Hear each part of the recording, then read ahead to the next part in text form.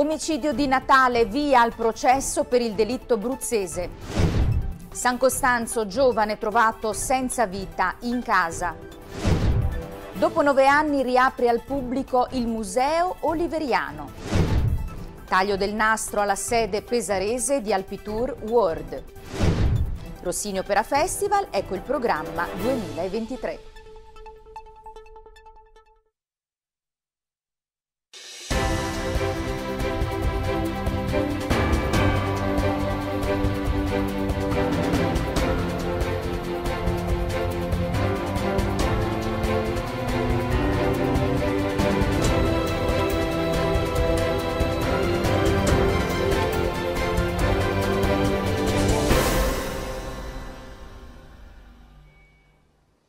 Buonasera, ben ritrovati al nostro telegiornale. Oggi è mercoledì 14 dicembre e quelle di questi giorni sono davvero giornate importanti sul fronte processuale per alcuni dei fatti di cronaca più importanti degli ultimi anni. Ieri ci siamo occupati della conclusione del processo della banda dello spray coinvolta nella strage della lanterna azzurra di Corinaldo. Oggi invece a Pesaro si è aperto il processo per l'omicidio di Marcello Bruzzese Paese, un delitto di andrangheta in pieno centro storico che sconvolse la città proprio nel giorno di Natale di quattro anni fa. E allora vediamo quanto è emerso in questa eh, prima udienza nel nostro servizio.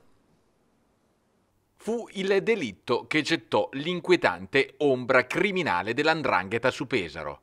quello dell'omicidio di Marcello Bruzzese ucciso il pomeriggio di Natale davanti al garage della sua casa pesarese nella centralissima via Bovio. In quel pomeriggio del 25 dicembre il 51enne fratello del pentito di Ndrangheta Girolamo Biagio, ex affiliato alla Cosca Crea, fu freddato con 20 colpi di pistola in una vendetta in perfetto stile mafioso, ovvero nel giorno di Natale, simbolicamente il più caro agli affetti familiari. Oggi nel Tribunale di Pesaro si è aperta la prima due giorni del processo ai tre sicari arrestati quasi tre anni dopo il delitto, ovvero nell'ottobre 2021 dai carabinieri del Ross di Ancona. Il primo a finire alla sbarra è stato Rocco Versace, 55enne reggino di Taurianova, che non è accusato di essere l'esecutore materiale del delitto, ma è accusato di concorso in omicidio e nello specifico di aver apparecchiato il delitto con appostamenti e pedinamenti nei confronti della vittima. Versace era oggi collegato in videoconferenza dal carcere per un processo ancora alle fasi preliminari. Processo che però ha visto nove familiari di Bruzzese costituirsi parte civile avanzando una richiesta di risarcimento danni di un milione di euro. Familiari che non erano presenti in aula ma la cui istanza è stata rappresentata dall'avvocato Grazia Iannarelli.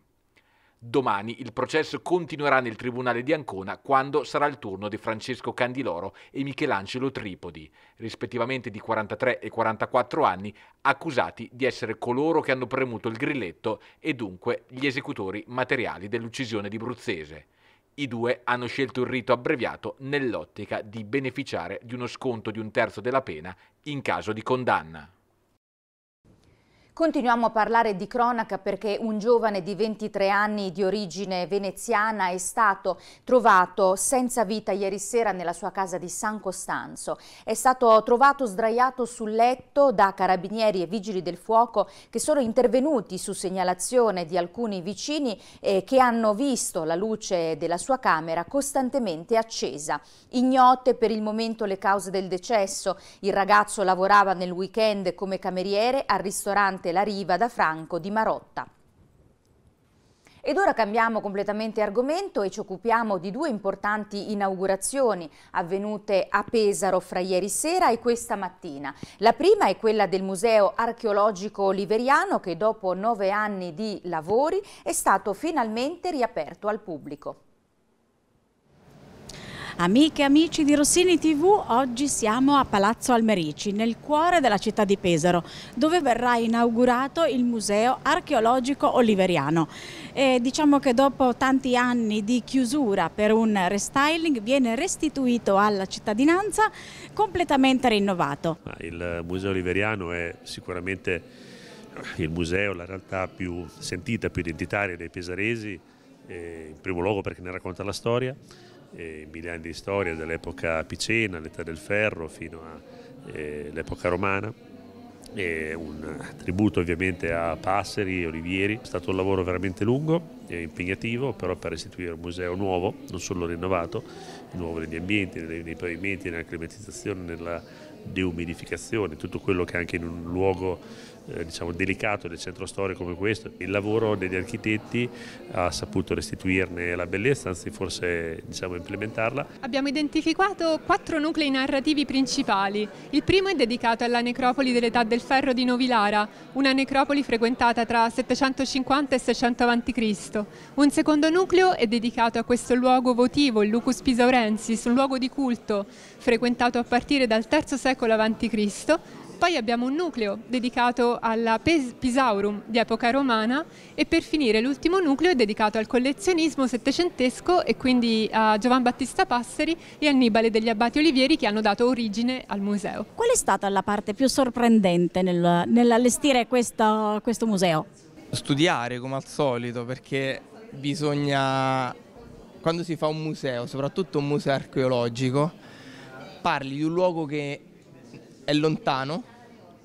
perché gli scavi si fanno nel territorio e di un tempo che non esiste più. Partiamo dall'VIII secolo a.C. fino alla, all'avvento del, del, cristianesimo, quindi una, un lunghissimo arco di tempo che coinvolge un, um, un territorio vasto, Novilara, Pesaro, tu, tutto il territorio pesarese, il San Bartolo, l'Ardizio, e che mette in campo quindi l'obbligo di studiare, quindi è come quando si parte, ti danno una bussola che sono i reperti, dei libri da studiare, là inizia la navigazione, inizia a studiare e a progettare mano a mano che capisci quali sono i materiali con cui hai a che fare. È un momento che nel suo genere non esiterei a definire storico, dopo tanti anni di chiusura finalmente riaprono i musei oliveriani. Quindi è veramente con gioia che diamo questo annuncio e troviamo fra l'altro una grande aspettativa, una grande accoglienza da parte dei cittadini della città e, e tutto sommato siamo felici eh, di poter dire è veramente un'opera eh, ben fatta e che piacerà sicuramente ai pesaresi.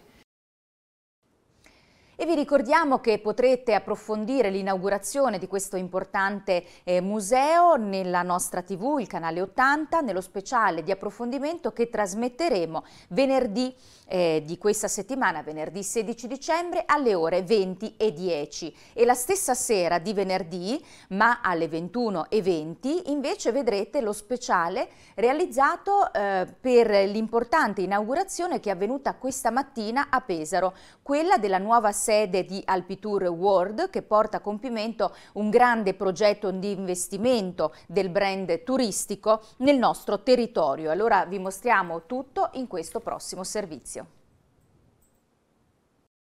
Mercoledì 14 dicembre, data della inaugurazione della nuova sede di Pesaro di Alpitour World. Il principale player dell'industria turistica nazionale investe su Pesaro e investe con un progetto eh, lungo quattro anni che ha portato alla riqualificazione di questa sede collocata in strade Fornace Vecchia, una inaugurazione che è stata applaudita quest'oggi alla presenza dei vertici nazionali di Alpitour, a cominciare dal presidente Gabriele Burgio che ha sottolineato sottolineato il punto d'arrivo della realizzazione di questa azienda e un punto di partenza verso le strategie future di Alpitour, strategie che hanno superato momenti complicati in questi quattro anni dalla pandemia alle conseguenze della guerra. Noi pensavamo il punto di partenza fosse già l'estate del 2020, tanto che abbiamo eh, acquistato in leasing due grandi aerei nuovi e eravamo tutti pronti per la ripartenza. Poi questa ripartenza continuava eh, la seconda ondata, la terza ondata, la quinta ondata e finalmente sembra che in estate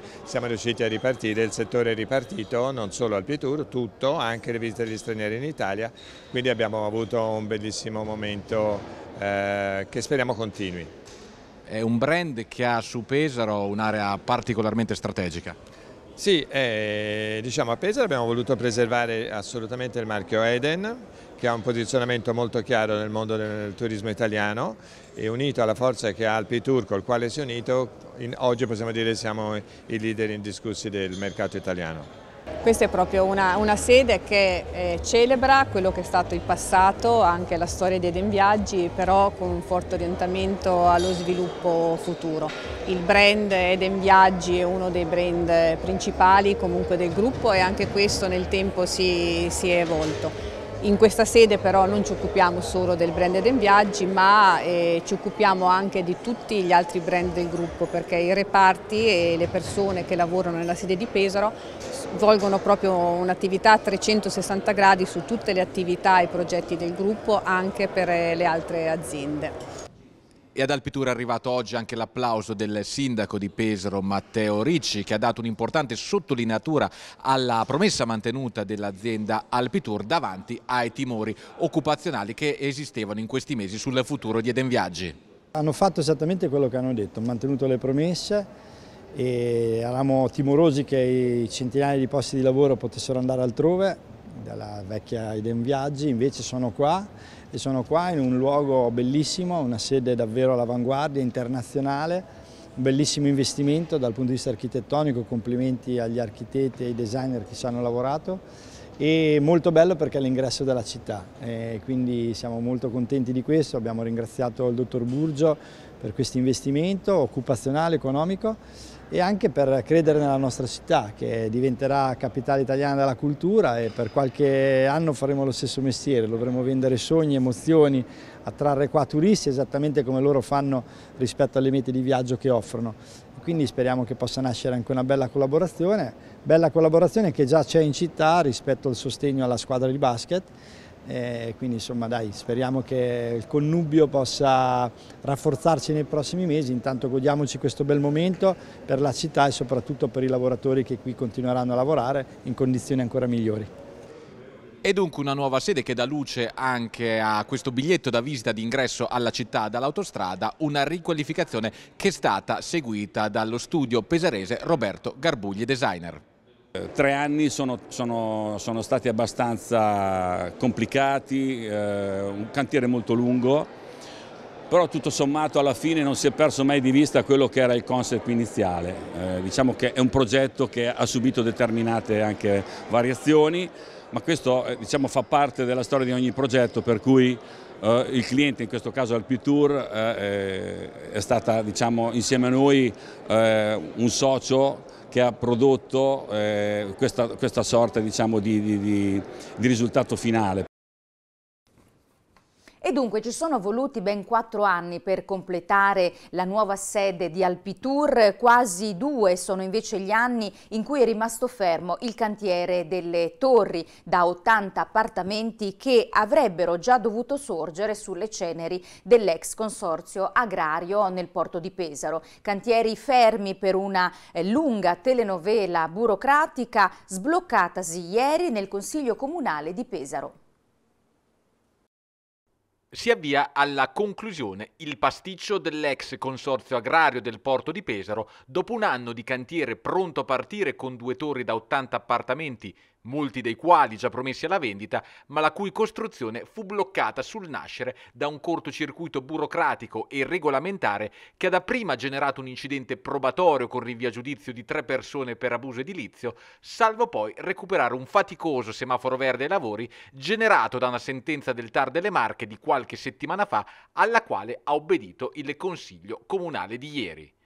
Consiglio che ha approvato all'unanimità la delibera che ottempera la sentenza del TAR emessa per il ricorso presentato dalla società Nova Portum per accertare l'illegittimità del silenzio del Comune sull'istanza presentata e con cui ha posto due richieste ovvero l'atto di interpretazione autentica in ordine alla vigenza del PRG 1990 nell'area portuale e l'atto urbanistico di correzione materiale consistente nella cancellazione di un comma che il Comune aveva già manifestato che si trattasse di un errore materiale, come spiegato dall'assessora alla rapidità Mila della Dora, supportata dall'ingegner Moretti del Comune. Questa parte di questo comma, come ho ribadito anche prima, eh, è frutto di un errore materiale che consiste nel mancato stralcio eh, dello stesso eh, paragrafo per mera dimenticanza a seguito dell'integrale eh, recepimento in merito alle prescrizioni che erano state a suo tempo impartite eh, dalla provincia di Pesaro Urbino. Motivo per cui eh, questa eh, modifica, questa variante non necessita dell'acquisizione dei pareri, dei nulla osta, delle autorizzazioni da parte di tutti gli enti eh, coinvolti, eh, in quanto i eh, pareri erano stati già eh, richiesti all'epoca quando era stata ehm, stralciato diciamo, tutto quello che era la parte del progetto a norma del piano eh, regolatore e dunque corretta l'anomalia dalla quale partorì la segnalazione della Capitaneria di Porto che aprì l'inchiesta sulla base di dubbi di edificabilità residenziale di uno stabile non destinato a fini strettamente connessi all'attività portuale. Il tutto risolto dalla semplice cancellazione di un refuso del PRG approvato con 29 voti favorevoli, escluso il consigliere dall'asta da sempre contrario all'edificazione in quell'area. Altri consiglieri di minoranza, da Michele Redella a Giulia Marchionni, da Daniele Malandrino a Roberto Biagiotti, hanno sottolineato la responsabilità politica in una vicenda che andava risolta in tempi molto più celeri e con danni ben più contenuti, oltre a sottolineare il forte stato di incertezza che continua ad alleggiare su queste procedure amministrative. E ieri il Consiglio Comunale di Pesaro ha ricevuto anche la curiosa visita dell'arcivescovo Sandro Salvucci che ha voluto portare il proprio saluto natalizio all'amministrazione cittadina, sottolineando l'importanza del lavoro per il bene comune e suggerendo la disponibilità della Chiesa a collaborare con i progetti di Pesaro Capitale della Cultura 2024.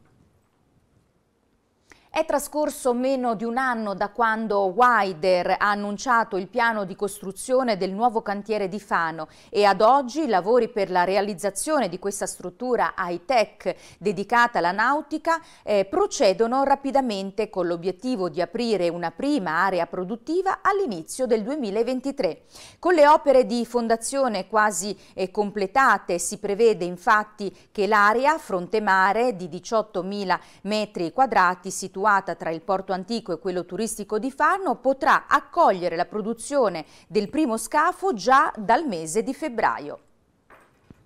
A Monte Cerignone il presidente della provincia Paolini e il sindaco del comune Chiarabini hanno oggi intitolato alla memoria di Alberto Pascucci il ponte sulla strada provinciale Conca, recentemente riqualificato dai lavori realizzati dal consorzio di bonifica. Alberto Pascucci è stato il fondatore dell'omonima azienda Caffè Pascucci, la cui impresa di torrefazione da Monte Cerignone è stata capace di esportare caffè in tutto il mondo. All'inizio all'inaugurazione presenti i figli Mario, Francesca eh, Paolo, Pascucci, i rappresentanti dell'impresa di torrefazione Paolo Simoncelli, padre del compianto pilota Marco Simoncelli e grande amico della famiglia Pascucci. L'Università di Urbino conferirà il sigillo d'Ateneo a Darco Pellos, prefetto della provincia di Ancona. L'appuntamento sarà martedì 20 dicembre alle 11.30 nella sede del rettorato dove si terrà la Lezio Magistralis. Il prefetto, organo della sicurezza e protagonista della coesione istituzionale e sociale. Domani, giovedì 15 dicembre alle ore 17, l'ente Olivieri ospiterà nella sala dello Zodiaco della Biblioteca Oliveriana la presentazione del diciottesimo rapporto annuale Federculture 2022, Impresa Cultura, Lavoro e Innovazione, Strategie per crescere. L'incontro sarà l'occasione per discutere a partire dai dati e dalle analisi contenute nell'ultimo rapporto di Federculture dei temi di maggiore attualità per il settore culturale e creativo e delle prospettive di ripresa che si delineano dopo la lunga crisi pandemica. E sempre domani alle 21.15 nella chiesa pesarese di Sant'Agostino, Ars Musica e World Organ Days Pesaro organizzano la decima edizione del concerto di Natale in collaborazione con l'Arcidiocesi di Pesaro. Ad esibirsi Luigi Faggi Grigione, Grigioni e Mario eh, Bracalente alla tromba e Luca Scandali all'organo. Ancora musica e cultura, ma facciamo un salto in avanti all'agosto 2023, quando andrà in scena la 44esima edizione del Rossini Opera Festival, il cui programma è stato svelato proprio questa mattina. Sono state scoperte le carte sulla 44esima edizione del Rossini Opera Festival, che si terrà a Pesaro dall'11 al 23 agosto tra le cornici del Teatro Rossini, Teatro Sperimentale Vitrifrigo Arena. Il progetto di eseguire brani poco conosciuti ha forgiato anche questo ROF 2023, che vedrà la sua inaugurazione nell'ampio spazio dell'astronave con la prima moderna di Edoardo e Cristina, la 39esima opera del catalogo operistico rossiniano. Rulano i tamburi per un'edizione di grande, di grande, attesa, soprattutto per il titolo inedito, eh, Edoardo e Cristina, che verrà presentato per la prima volta in edizione critica in epoca contemporanea, quindi in perfetta linea con quello che è la tradizione del festival di presentare soprattutto opere meno conosciute, così come fuori dai circuiti più convenzionali sono gli altri due titoli che presentiamo in cartellone, Aureliano in Palmiro, una ripresa eh, di eh, Mario Martone, fatta già al festival, presentata già al festival qualche anno fa, e anche la nuova produzione di Adelaide di Borgogna, quindi tre titoli che sicuramente eh, vanno incontro ai gusti e alle esigenze del nostro pubblico più affezionato che sa di trovare a Pesaro qualcosa di veramente unico e ricercato. Il programma è sempre ricco, oltre alle tre produzioni c'è il consueto appuntamento con il Viaggio a Rems, con i ragazzi dell'Accademia impegnati in quella che è una delle opere iconiche del nostro festival, più un ricco programma di concerti eh, che prevede anche due appuntamenti particolarmente eh, importanti come la cantata Malibrane e la conclusione del festival con la Petite Messe Solennelle diretta dal maestro Mariotti per una conclusione veramente straordinaria. Si presenterà per la prima volta qui al ROFEL la cantata in onore di Pio IX, bellissima cantata eh, che la eh, Fondazione Rossini aveva già eh, preparato l'edizione critica e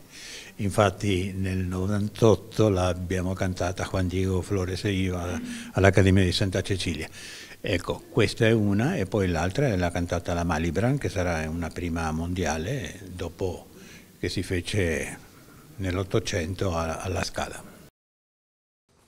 Concludiamo il nostro telegiornale con lo sport, con una notizia eh, di sport ad appena tre giorni dalla vittoria della Supercoppa. Infatti l'Ital Service Calcio a 5 Pesaro è tornata in campo ieri sera per il turno di Serie A di Calcio a 5 posticipato al martedì. Contro i Veneti della Came d'Osson, la squadra di Colini è stata sconfitta per 2-0 al Palafiera ed ora si trova all'undicesimo posto in classifica.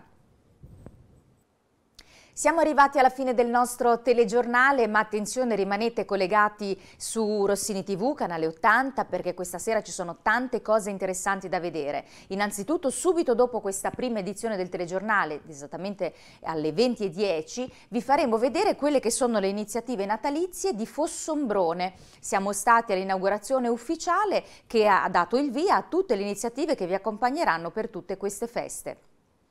E invece dopo la seconda edizione del nostro telegiornale, quindi intorno alle 21.20, vi mostriamo una nuova esclusiva puntata di Ci inviti a cena. La nostra Nicoletta e il nostro Paolo questa sera sono a Pesaro e sono stati ospitati a cena da una coppia di pesaresi che si chiamano Emanuela e Giuseppe, quindi vi aspettiamo alle 21.20.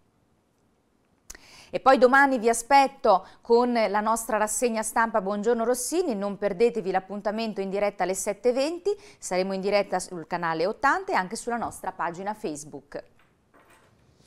E poi domani sera torna insieme a Canestro e domani sarà una puntata di grandi commenti e di grande dibattito perché ehm, il nostro eh, Marco Cadeddu avrà Alfredo Carboni, opinionista, e Mirko Faccenda, giornalista e commentatore. Quindi si farà veramente un'analisi molto interessante di come sta andando la VL e chiaramente eh, voi sarete protagonisti, potrete partecipare, scriveteci eh, su WhatsApp al numero che vedete in sovraimpressione oppure se ci seguite nella diretta Facebook potete commentare nella, sotto la diretta. Commentate, fatelo perché potrete vincere biglietti e premi messi in palio dalla Carpegna Prosciutto.